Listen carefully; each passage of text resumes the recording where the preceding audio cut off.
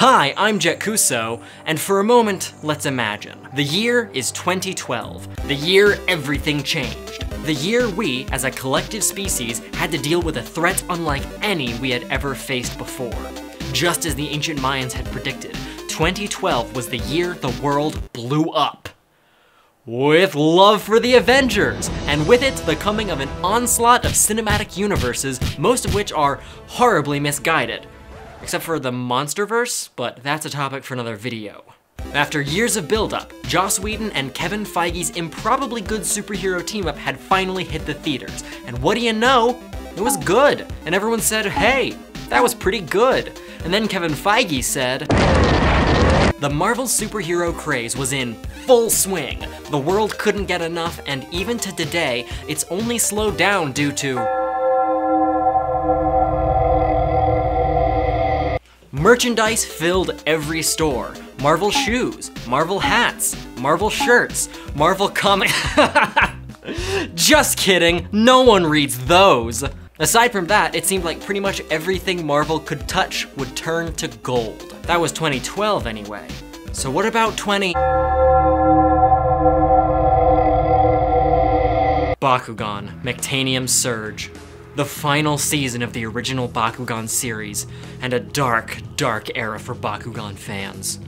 What was once good and pure had slowly worn away into a shadow of what Bakugan was supposed to be. The toy line was bloated with extra toys like Mechtogan action figures, Baku Nanos, and uh, this, this, uh, oh. The TV show had become completely uninspired, and the TCG was absent and uncared for in advertising. For goodness sakes, the marbles were barely even round anymore. Lumpy, bumpy, ugh. Bakugan was in shambles, and the fans could tell.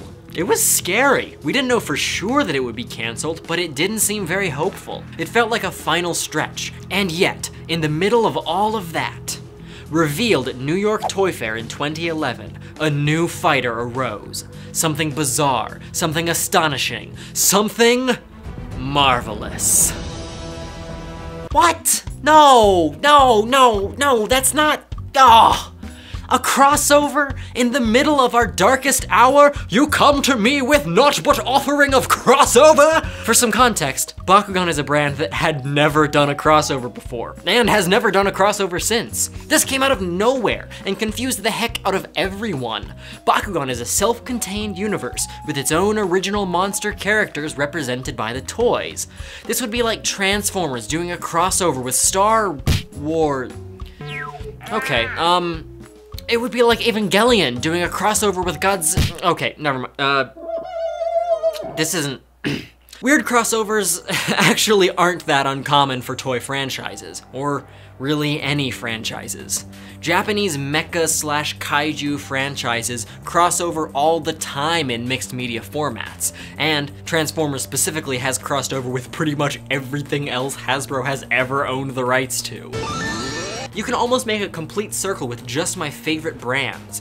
Bakugan to Marvel, Marvel to Marvel Transformers, Transformers to Transformers Evangelion, Evangelion to Godzilla, and there's just one thing we need to finish this circle, and I need it. I need it. Give me Godzilla Bakugan. It's all I've ever wanted, Toho. Why won't you answer my email? So why was this so surprising? Well, while crossovers aren't unheard of in general, it is quite unheard of for this type of brand. We've never seen a line of My Hero Academia Beyblades, DC Superheroes Yu-Gi-Oh cards, or a generation of Pokemon that includes monster versions of the cast of Riverdale. Magic the Gathering does this kind of stuff all the time, sure, but that's, uh, that's Magic the Gathering. Uh, I don't really, I don't, I don't play that game. Godzilla ones are kind of cool though. You get the point. It was weird for Bakugan fans, let's move on. Five unique new sculpts were released for this line. Five characters from the Marvel Universe. But here's where we get to the first mistake with this idea. If you wanted the Marvel Bakugan, you had to buy them in these Versus 2-packs, which paired each Marvel character with a Bakugan character that they're supposed to fight, I guess? Which is weird, right? You'd think it would be its own product, but no. The whole situation was made really, really weird by the implication that the Marvel characters exist in the same universe as the Bakugan monsters, which implies somehow that these human characters have been transformed into Bakugan marbles and they exist in continuity. It's kinda disturbing when you get into it. They really should have made them a separate product from the main Bakugan line. It hits me as major Uncanny Valley territory to see Iron Man placed at the same tier of importance as Razenoid. Let's run through the line one hero at a time. First up, from the Uncanny X-Men, we've got Wolverine. No, no, not that, that one. That's not actually Wolverine. Uh, yeah, there we go, Wolverine. All of the Marvel Bakugan are clever retools of other Bakugan that already existed. Wolverine, for example, is a retool of Taylean, Shun's Season 4 Guardian. Two versions were released, a classic yellow Aquos version and a gray X-Force version in Subterra. X-Force might seem like a weird pull, but the Wolverine-led version of that team was a running comic series in 2011. I did research to find that out. Stupidly, both color schemes of Wolverine came with the same Pyrus Titanium Dragonoid, so if you wanted both versions, you had to deal with duplicates of the companion Bakugan. And this is the case for every other product in the line as well. If you want both color schemes, you have to get two of the same companion Bakugan. Bad move. Next up, Spider-Man which is a retool of Razenoid, and that means floppy arms, bad posture, and a confusing method of closing that you can never quite get the right order for.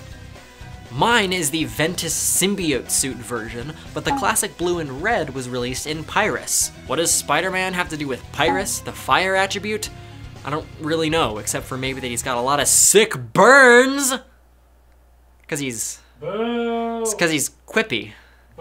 He's a... He, I didn't actually buy this Bakugan. It was given to me when I was a child by an old Japanese man who walked up to me after a convention, put it in my hands firmly with a look like I was supposed to protect it with my life, and then just walked away. That is a true story, I'm dead serious, that actually happened to me. In fact, if I had a nickel for every time this has happened to me, I would have two nickels, which isn't a lot, but it's weird that it happened twice.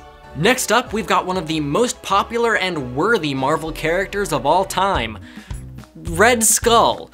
In Bakugan's long history, the Red Skull is the only time we've ever had a toy of a literal Nazi.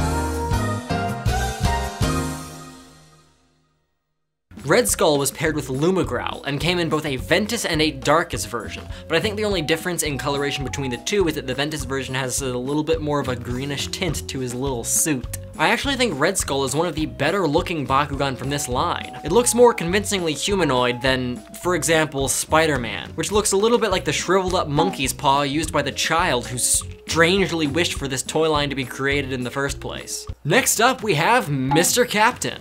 Captain Man, Mr. Country himself, Captain American. Being a retooling of Haos Bakugan Contestir, he's a tall boy. And unfortunately, he's the only Bakugan in this line that I don't own a version of at this point. Not for any particular reasons. Doc Patriotism was paired with a fan favorite questionable example of accidental trans representation, Ingram. Which is weird because Ingram was from New Vestroia a full two seasons before this came out. And last but not least, a character that breaks the entire formula we've established so far. You see, Iron Man was very popular in 2011, being the character who kicked off the MCU, and the only MCU hero with two movies to that point, Spin Master had some incentive to produce more versions of Iron Man than the other heroes. So on top of the classic colored Haos Iron Man which I own, they made the Silver Centurion styled Ventus Iron Man, the Aqua Stealth Armor Iron Man, and the darker metallic Extremis Armor Iron Man that I did want, but never found. The former two were paired with Razenoid and the latter two with Darkus Helios? Also a New Vestroia boy for some reason. These extra color schemes are kinda cool, but the truly unfortunate thing is that we could have had so much more. Several more Marvel Bakugan than just these were announced, and even fully prototyped. On the website, there were these little coming soon pages advertising the Hulk, Red Hulk, Thor, and the Mighty Thor? I don't know what the difference between those last two are, but sure, go off, Spin Master. We've seen prototypes and development samples of at least one version of each of these, and allegedly they were even planning a Loki figure, but we'll never see them. according to the wiki, due to Spin Master discontinuing Bakugan entirely. It sucks, because if they'd gotten Thor and the Hulk out, that would have been basically the entire main Avengers lineup, released right in time for the Avengers movie. I mean, gosh, I can only guess, but for all I know, it could have saved Bakugan. If they had just run with this wacky stuff, maybe it would have pulled in droves of Avengers fans. yeah, I know. I know, I started out hating this crossover, and I really, really thought it was stupid as a kid, and yeah, it still is pretty stupid, but they have a charm that's grown on me over the years. You're not really that bad. I mean, a little strangely marketed, kind of misguided, maybe not very well executed, but not an inherently flawed idea.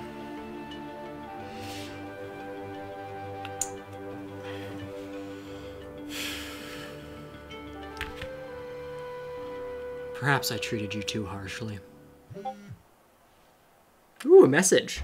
Do you want to see Bakugan do more weird crossovers like this modern day? You all know my vote is for Godzilla, but I really want to hear what you guys have to say. I'm actually really curious because there's potentially a lot of brands that would go great with Bakugan. So leave a comment below and I'll actually probably read it. Thank you so much for watching. This is Jett Kuso, and I'll see you next time.